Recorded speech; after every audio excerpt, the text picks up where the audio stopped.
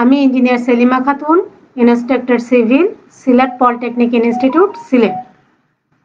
সবাইকে আজকের এই অনলাইন ক্লাসে স্বাগত আজ আমি সিভিল টেকনোলজির ষষ্ঠ সেমিস্টারের ফাউন্ডেশন ইঞ্জিনিয়ারিং সাবজেক্টের উপর ষষ্ঠ লেকচার দিচ্ছি। এক্ষেত্রে আমি পড়াবো চ্যাপ্টার সিক্সের foundation on sand and non plastic silt সম্পর্কে। আজকের আলোচনায় থাকবে আমার স্যান্ড এবং সিল্টের গুরুত্বপূর্ণ বৈশিষ্ট্য। স্যান্ডের উপরে ফুটিং ও র্যাপ ফাউন্ডেশন স্থাপন। স্যান্ড খননের পদ্ধতি। স্যান্ডে পাইল স্থাপন ও পায়ের স্থাপন সম্পর্কে। এখানে প্রথমে আমি একটি স্যান্ডের ছবি দিয়েছি, স্যান্ড বা স্যান্ড ডিপোজিট বলতে পারি, যা কিন্তু আমরা বালি বা বালি স্তূপ বলব। আর এখানে হলো আমার সিল্ক বা সিল্ক ডিপোজিট, অর্থাৎ পলি বা পলি স্তর এবার দেখি আমি স্যান্ড কাকে বলছি। স্যান্ড হলো আমার বৃহদাকার এই কণাটিকে স্যান্ড বলা হচ্ছে এবং এর তুলনায় যে ছোট কণাটি দেখতে পাচ্ছি এটাকে আমি বলব সিল্ড এবার জ্যামিতিকভাবে একটি অঙ্কন করেছি, যেখানে স্যান্ডকে আমি তিনটি ভাগে ভাগ করেছি। বড়টি হলো আমার কোর্স স্যান্ড ঘিয়ে রঙের। গ্রিনটি হলো আমার মিডিয়াম স্যান্ড অর্থাৎ মধ্যম বালি। এবং নীল আকৃতিরটা হলো ফাইন স্যান্ড বা সূক্ষ্ম বালি। বালি তিন প্রকার বিভক্ত করার পরও দেখা যাচ্ছে সিলটি অতীব ক্ষুদ্র, যা কিনা লাল রং দিয়ে নির্দেশ করা হয়েছে। এবার এর যদি সাইজ আমরা পার্টিকেল সাইজ হিসেবে আলাদা করতে চাই, তাহলে বলতে হবে যে পার্টিকেল যে soil পার্টিকেলের dia point zero five millimeter থেকে টু মিলিমিটারের মধ্যবর্তী অবস্থায় থাকবে।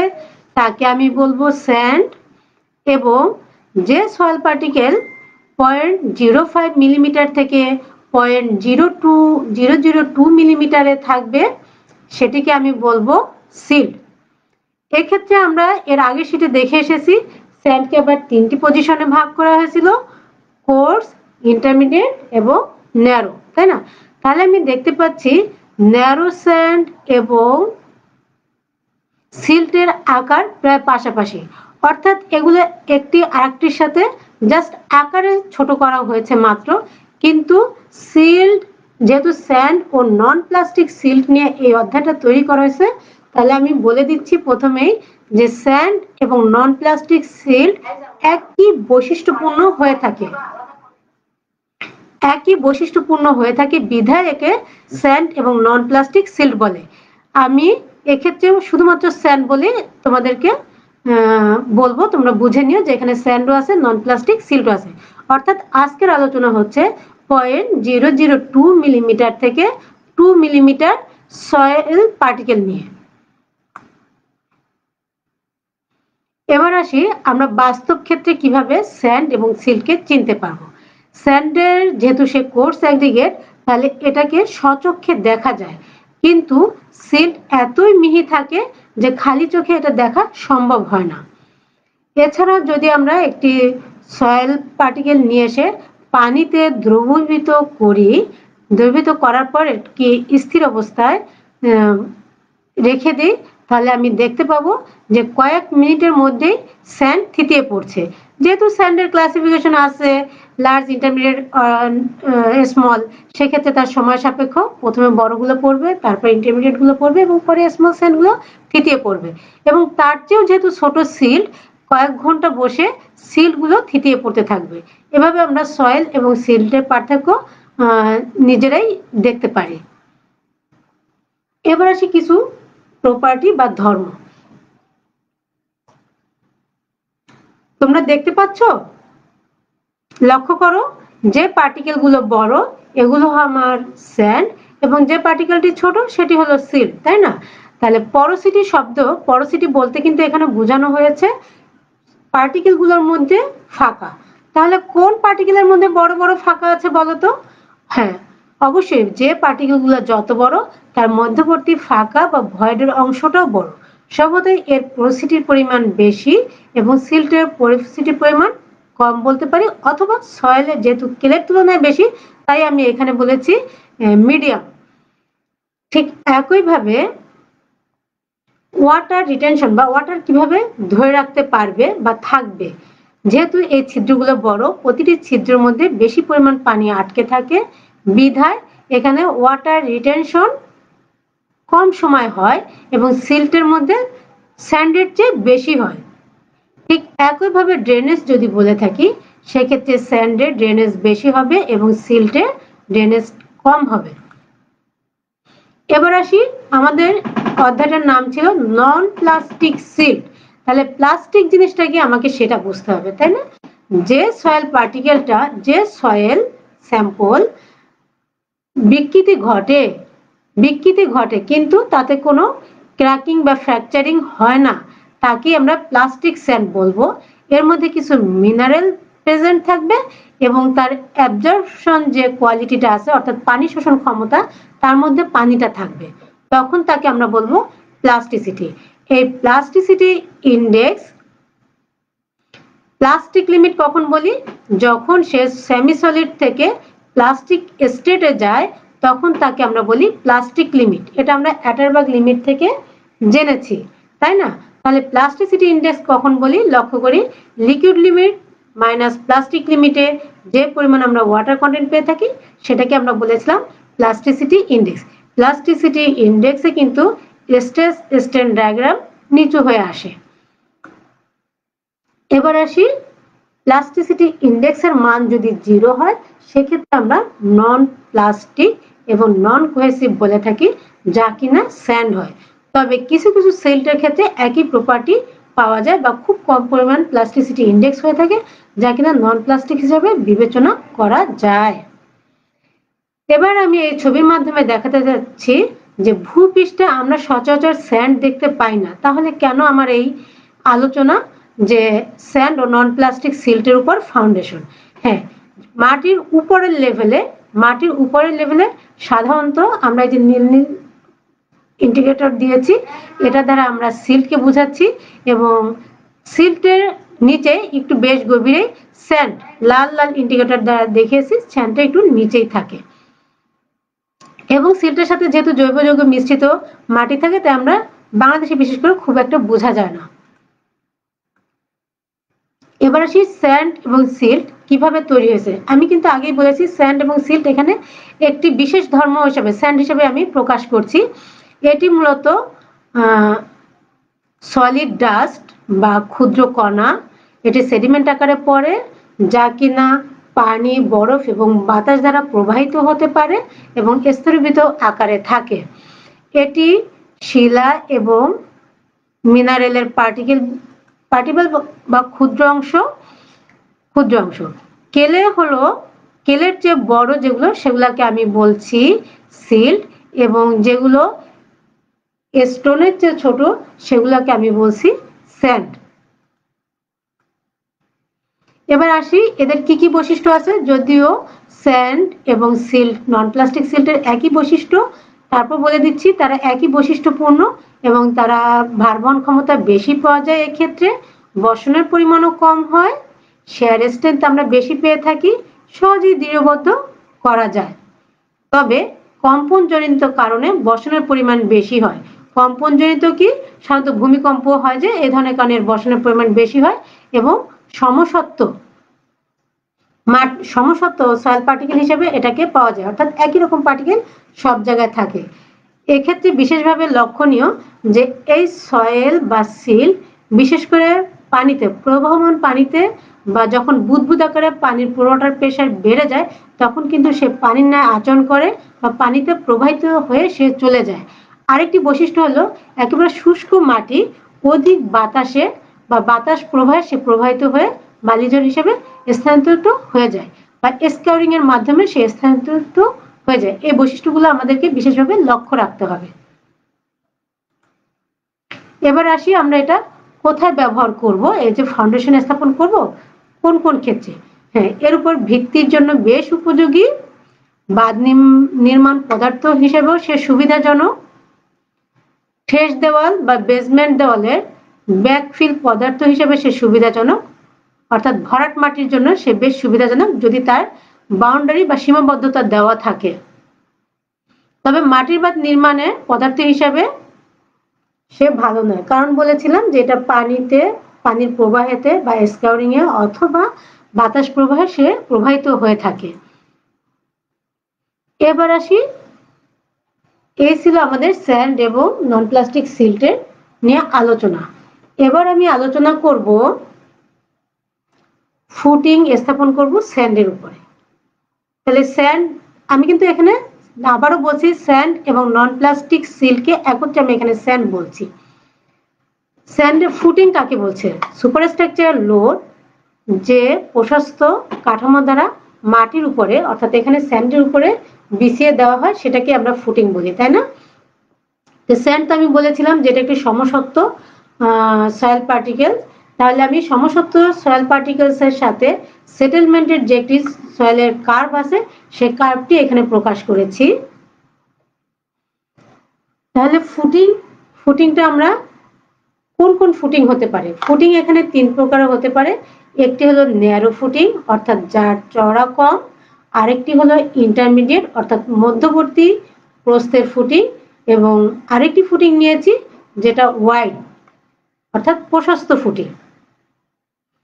আমি কার্ভের মাধ্যমে এই কার্ভটি হলো আমার ন্যারো ফুটিং এর ন্যারো ফুটিং বা স্বল্প চড়া ফুটিং এর ক্ষেত্রে আমি দেখতে পাচ্ছি, মাটির প্রকৃত চাপের অল্প পরিবর্তনেই বেশি পরিবর্তন হয়ে থাকে এবং সেটেলমেন্টের পরিবর্তন বেশি বা ভার্টিক্যালি নিচের দিকে নেমে যায়, ফলে বেয়ারিং ক্যাপাসিটি ফেল করে। এবং ইন্টারমিডিয়েট ফুটিংটার ক্ষেত্রে আমি লক্ষ্য করছি সেটেলমেন্ট এবং সয়েল প্রেশার কার্ভটি ক্রমান্বয়ে ঢালু আকারে নিচে নেমে গেছে। এটাও কোনো একটা সময় ব্যর্থতা বিবেচনা করা হবে। এবং হোয়াইট ফুটিং এর ক্ষেত্রে, হোয়াইট ফুটিং এর ক্ষেত্রে সে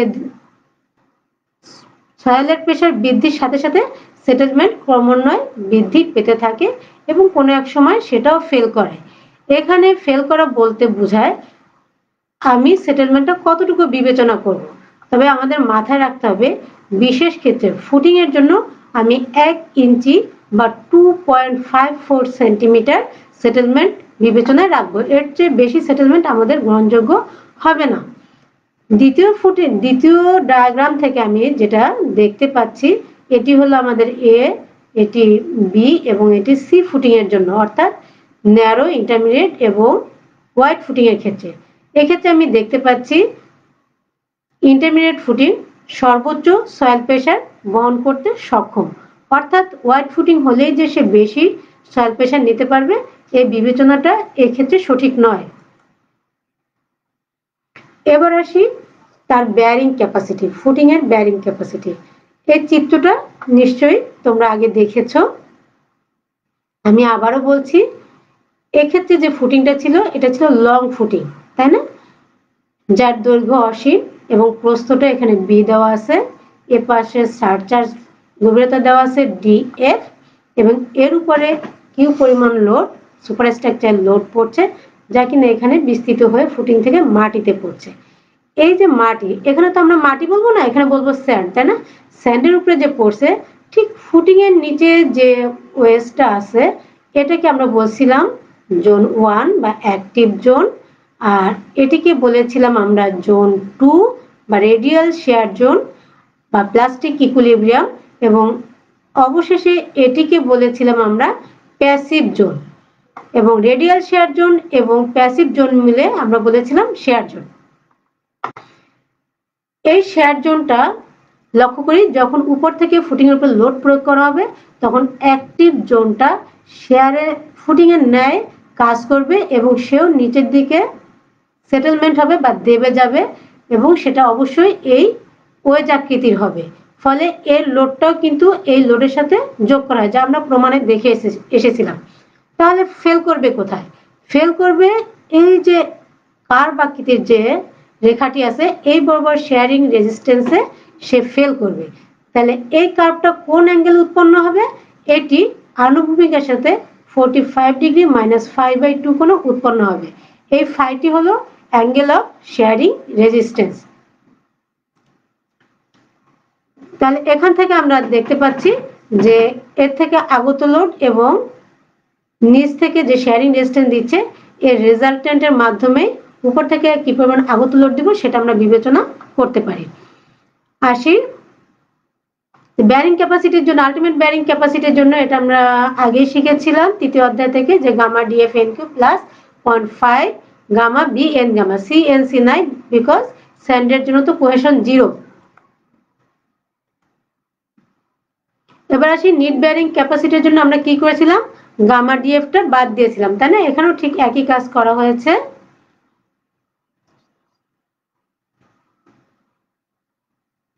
যার ফলে point zero five gamma B N gamma plus gamma Df N Q minus one সূত্রটি পেয়েছি। এবার আসি অ্যালাউবেল ব্যারিং ক্যাপাসিটি যখন আমার প্রয়োজন হবে, তখন ফ্যাক্টর অফ সেফটি দিয়ে ভাগ দিব। এবার আসি বালি মাটির ভার বহন ক্ষমতা তো নির্ণয় করলাম, কিন্তু এই ভার বহন ক্ষমতা মূলত কোন কোন বিষয়ের উপর নির্ভর করে?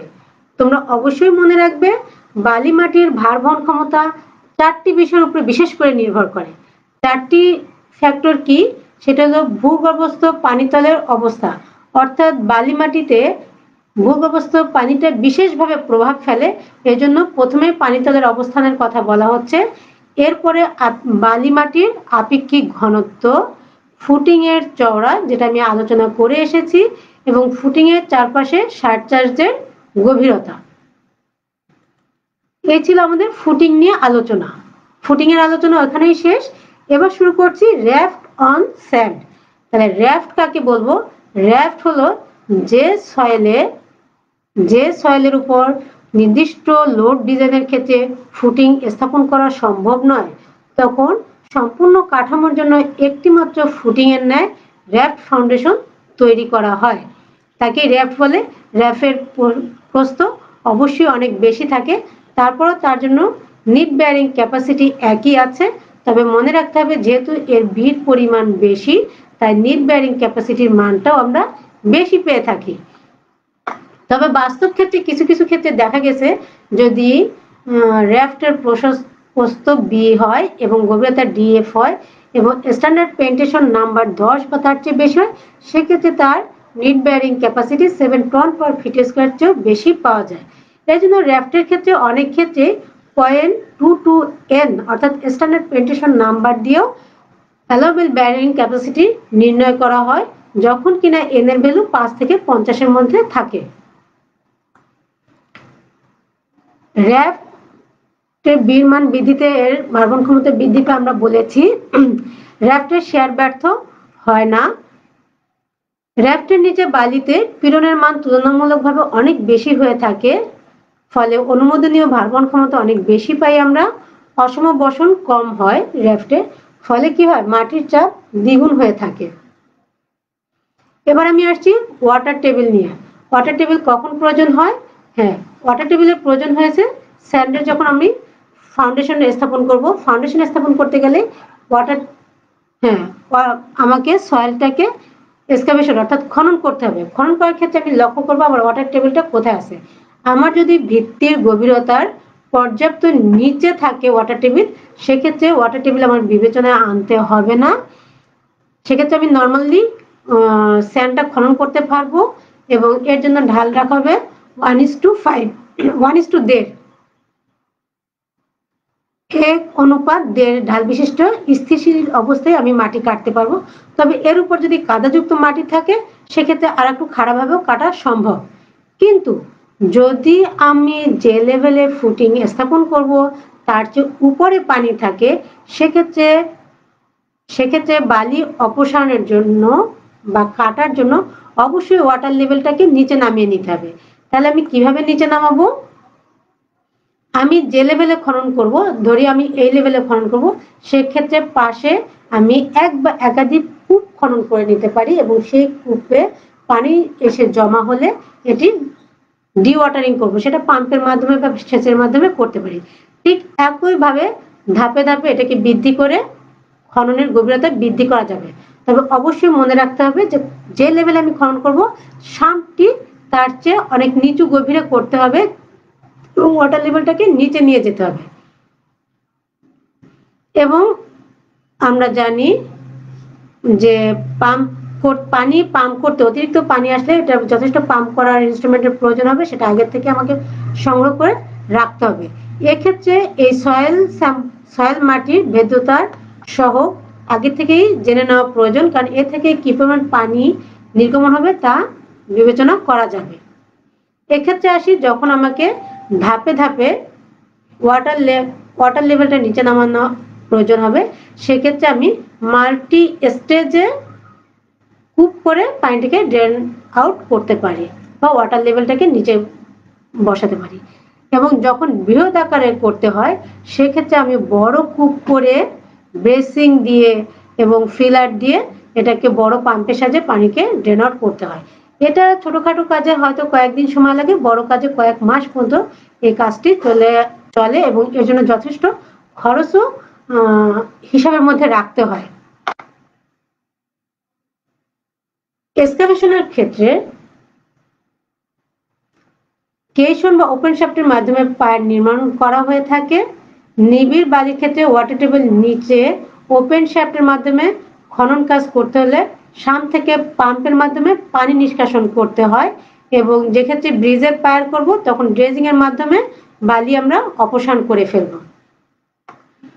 এবার আমাদের মাটি, বালি কাটা শেষ, কাটার পদ্ধতি শেষ। এবার আসি স্যান্ডের উপর, কীভাবে আমরা পাইল স্থাপন করব। পাইল কোথায় ব্যবহার করা হয়? যখন নরম, সংকোচনশীল বা আলগা বালি থাকে, এক্ষেত্রে নিচে বা ক্ষয় হয়ে যাওয়ার সম্ভাবনা থাকে। সেক্ষেত্রে নিচে কম্প্রেসেবল বা ডেন্সি স্যান্ডে লোড স্থানান্তর করার ক্ষেত্রে আমরা পাইল বসিয়ে থাকি।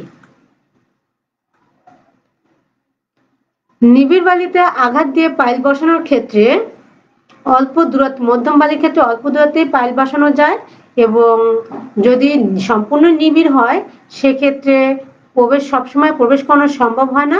প্রতিবন্ধক যেখানে সৃষ্টি হয়, সেখান থেকে আমরা কিছুটা পেন্টেশন করে ঢুকিয়ে দিই, ফলে সেখানে ফ্রিকশনের লোড বহন করে। লোড সেটেলমেন্ট কার্ভ অঙ্কন করে আমরা বালি স্তরের আকৃতি জানতে পারি। পাইলের যদি কাঠামোগত ফেইলার না হয়, সেক্ষেত্রে দেখা যায় যে লোড সেটেলমেন্ট সেটেলমেন্ট কার্ড তীর্যক সম্পর্ক উন্নীত হয় এবং বসনের পূর্ব মুহূর্ত পর্যন্ত গৃহীত লোড দিয়ে ডিজাইন করতে হয়।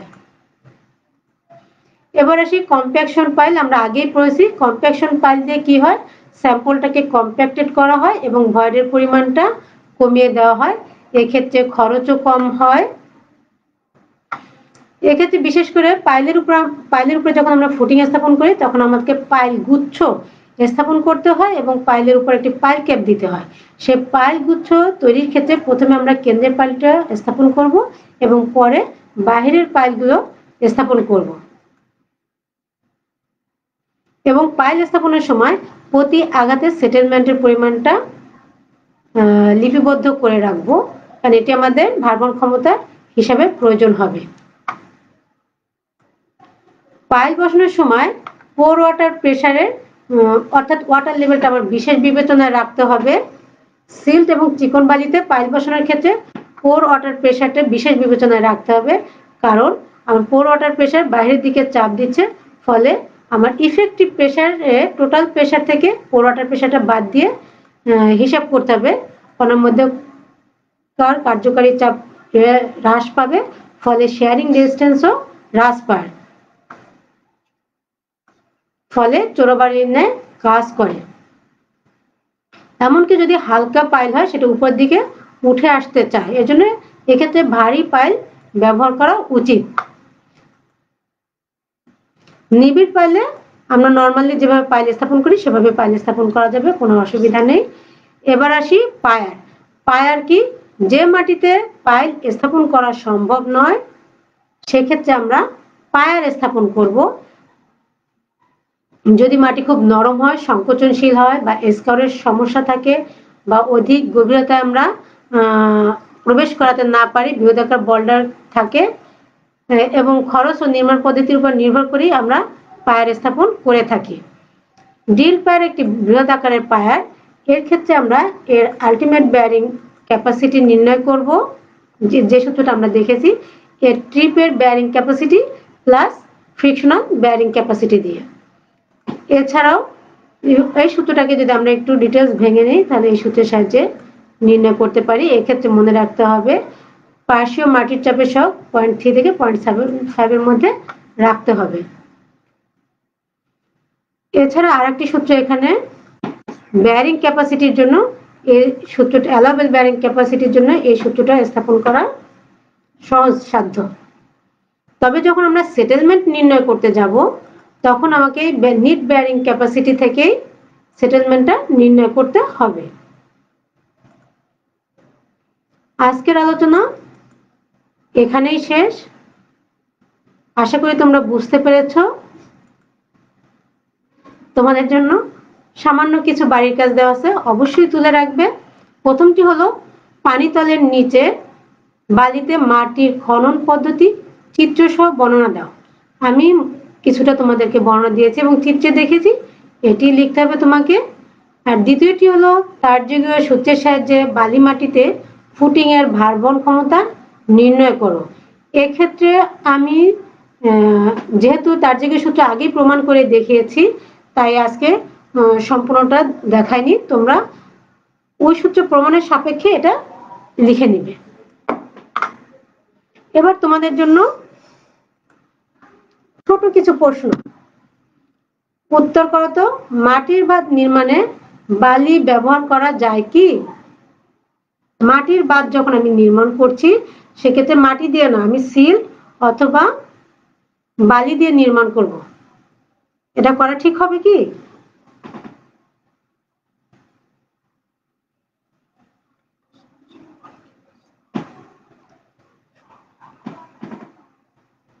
আমি দেখতে পাচ্ছি আমার একজন ছাত্র, সংগ্রাম আহমেদ। তুমি তোমার প্রতিষ্ঠানের নাম লিখে অবশ্যই লিখবে। তোমার একটা প্রশ্ন ছিল। অবশ্যই তোমাদের এখানে প্রশ্ন করার সুযোগ আছে। তুমি কমেন্টসে তোমার প্রশ্নটা লিখে পাঠাও। আচ্ছা।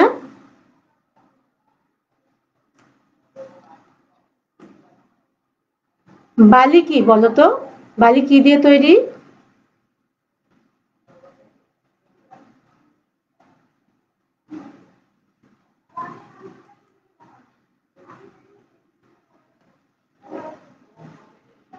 বালি খননের ঢাল কত হয়? বালিতে যখন আমরা খনন করি, এর ঢাল কত হয়ে থাকে?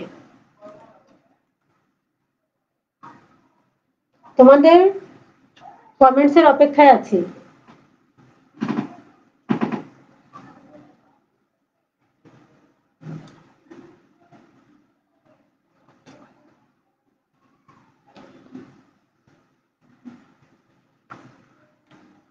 বালিতে খননের ঢাল সাধারণত ওয়ান, এক অনুপাত দেড় হয়ে থাকে, তাই না? তবে এর উপর যদি শক্ত মাটি থেকে থাকে বা কাদা মাটি থেকে থাকে, তাহলে আরও খারাপভাবে কাটা সম্ভব হয়। তাহলে আজকের লেকচার এখানেই শেষ করছি। আগামী ক্লাসে নিয়ে আসব foundation on clay and plastic silt আজ যেমন ছিল স্যান্ড এবং নন প্লাস্টিক সিল্ড পরের ক্লাসে আসবে ক্লে এবং প্লাস্টিক সিল্ড তোমরা সবাই প্রস্তুত থেকো। আগামী রবিবার ইনশাল্লাহ এই সময় আবার দেখা হবে। তাহলে এই ভিডিওটাকে আবার দেখার জন্য তোমরা ভিজিট করবে W W W dot skills dot gov dot BD oblique DTE আমরা সকলে শিষ্টাচার মেনে চলি নিরাপদ থাকি। Good bye and thank you